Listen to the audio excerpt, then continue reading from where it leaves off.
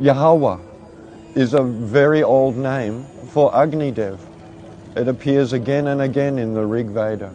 So I searched up the name Jehovah in Sanskrit to see if it shows up anywhere in the Vedas, and I just get a message in Sanskrit telling me the word just doesn't exist. The name he's actually referring to is pronounced something like Yahva or Yahvam, depending on the dialect. I looked that up in the original Sanskrit and it shows up over 30 times in the Vedas. Referencing the Sanskrit dictionary, this word has multiple meanings depending on the context. One meaning is a sacrificer or an institutor of sacrifices. The other common words used in Sanskrit to refer to sacrifice or a sacrifice are yajamana and yagna. It also means continually moving or flowing, referring to water. Another meaning is restless, swift, or active, and as you can see here, it's applied to Agni, Indra, and Soma, so it doesn't just refer to Agni Dev, but a multitude of deities. So the Sanskrit word Yahvam has nothing to do with the word Jehovah, which is actually a much later transliteration in an attempt to vocalize the Tetragrammaton.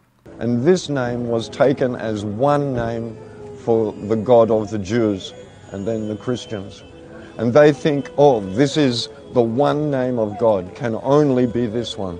Yeah, again, Yahvam has absolutely no connection to the Hebrew word for God. This is just a fallacy of equivocation. He seems to be attempting to make the connection based on Yahvam kind of sounding similar to the transliteration of the Tetragrammaton. This is kind of like when Muslims make the claim that the generic word for God in Aramaic sounds similar to the Arabic word for God, followed by some sort of claim that their religion must be true based on this. This is a fallacy and the lowest tier of argumentation and they make a separate religion.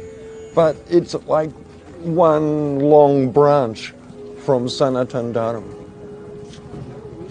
Uh, Sanatan Dharma is the base of the tree.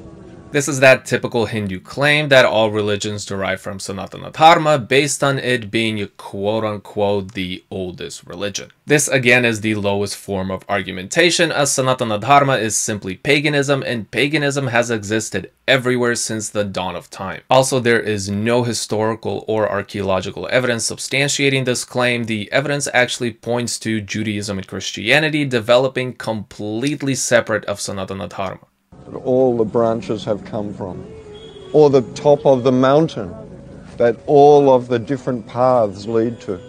I'm gonna save you time. He just waffles on about how all paths lead to one truth. I've had this conversation with Hindus countless times. This is logically inconsistent as all the paths, which is the different religions, all contradict one another. And two, this is a claim that truth is relative, yet you're making an absolute statement that truth is relative, which is a paradox and a self-contradicting claim. There is a reason why you rarely see gurus or individuals that study Sanatana Dharma defending their claims in public debates. One, their belief beliefs don't really call for it, and two, the inconsistencies in various claims within Sanatana Dharma would get exposed worse than Islam.